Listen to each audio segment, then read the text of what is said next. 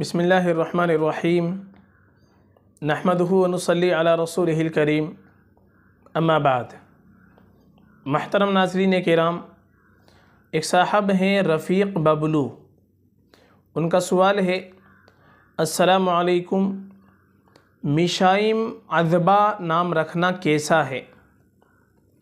वालेकुम अस्सलाम वरहमतुल्लाहि वबरकातुहू सबसे पहले इस लफ्ज़ का तलफ़ुज़ हम जान लें। पहला जो लफ्ज़ है, मीशाइम। बहुत से लोग इसको मशाइम भी पढ़ते हैं।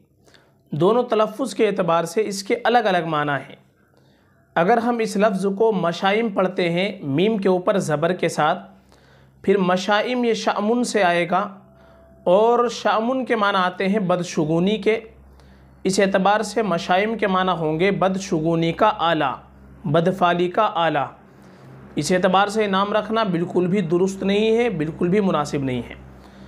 और अगर इसको हम पढ़ते हैं मी शाइम, जो आपने सवाल किया है, मीम के बाद या मी शाइम। मी शाइम, ये हज़रत यूसुफ़ अलैहिस्सलाम की बेटी का नाम गुजरा है। बहश्ती जेवर, आठवें हिस्से, सफ़ा नंबर चौहत्तर पर मीशाइम हज़रत यूसुफ़ अलैहिस्सलाम की बेटी का नाम लिखा है। कि ये नाम हज़रत यूसुफ़ अलैहिस्सलाम की बेटी का नाम था। तो जब ये एक नबी की बेटी का नाम है तो इस एतबार से मीशाइम नाम रखना ये सही है। चूँकि नबी की ज़ात की तरफ़ या नबी से मनसूब औलाद की तरफ़ नस्बत ही काफ़ी होती है। अगर नबी की ने अपनी बेटी का नाम मीशाइम रखा है, उनकी नस्बत से हम ये नाम अपनी बेटी का रख सकते हैं। मीशाइम नाम रखने में कोई हर्ज नहीं है। नस्बत के अतबार से अच्छा नाम है। मिशाइम के साथ आपने पूछा है अजबा।